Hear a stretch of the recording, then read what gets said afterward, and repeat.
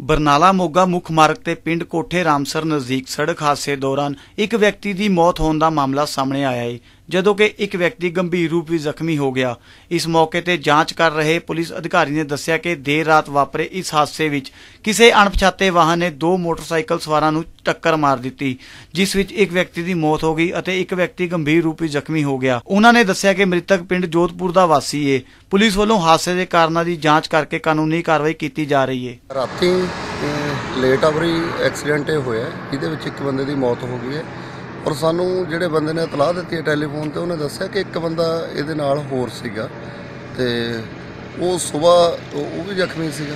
ਉਹ ਸਵੇਰ ਉੱਠ ਕੇ ਗਏ ਤੇ ਉਹ ਬੰਦੇ ਬਾਰੇ ਪੜਤਾਲ ਕਰਕੇ ਇੰਨਾ ਕੁ ਮੁੱਢਲੀ ਪੜਤਾਲ ਤੋਂ ਇਹ ਪਤਾ ਲੱਗਿਆ ਕਿ ਮੋਟਰਸਾਈਕਲ ਜਿਹੜਾ ਐਕਸੀਡੈਂਟ ਵਿੱਚ ਹੋਇਆ ਹੈ, ਇਹ ਜੋਧਪੁਰ ਪਿੰਡ ਦਾ ਅਸੀਂ ਉੱਥੇ ਸੁਨੇਹਾ ਲਾਇਆ ਉਹਨਾਂ ਦੇ ਆਉਣ ਤੇ ਪਤਾ ਲੱਗੇਗਾ ਕਿ ਜਿਹੜੇ ਡੈਥ ਹੋਈ ਹੈ, ਇਹ ਬੰਦਾ ਕਿਹੜਾ ਉਹਨਾਂ ਦੇ ਟੈਲੀਫੋਨ ਤੋਂ ਪਤਾ ਲੱਗਿਆ ਕਿ ਇੱਕ ਬੰਦਾ ਜੇਲ੍ਹ ਕੋਲੋਂ ਕੋਠਿਆਂ ਦਾ ਔਰ ਇੱਕ ਬੰਦਾ ਜੋਧਪੁਰ ਦਾ ਹੈ। ਇਹ ਕੋਈ ਅਣਪਛਾਤਾ ਵਾਹਣੀ ਮਾਰ ਕੇ ਗਈ ਅ, ਬਿਲਕੁਲ ਇਹ ਕੋਈ ਅਣਪਛਾਤਾ ਵਾਹਣੀ ਅ, ਨਾਲ ਹੀ ਐਕਸੀਡੈਂਟ ਹੋਇਆ ਤੇ ਬਾਕੀ ਜਿਹੜੀ ਇਹਦੀ ਪੜਤਾਲ ਕਰ ਰਹੇ ਹਾਂ ਉਸ ਤੋਂ ਬਾਅਦ ਜੋ ਵੀ ਤੱਥ ਸਾਹਮਣੇ ਆਉਂਦੇ ਉਹਦੇ ਆਧਾਰ ਤੇ ਕਾਰਵਾਈ ਕਰ ਕਰ ਰਹੇ ਹਾਂ।